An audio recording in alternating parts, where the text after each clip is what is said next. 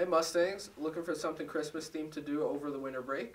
Well, go check out the Gaylord Rockies Resort. They have things like ice tubing, ice skating, Christmas trees, and a lot more to check out.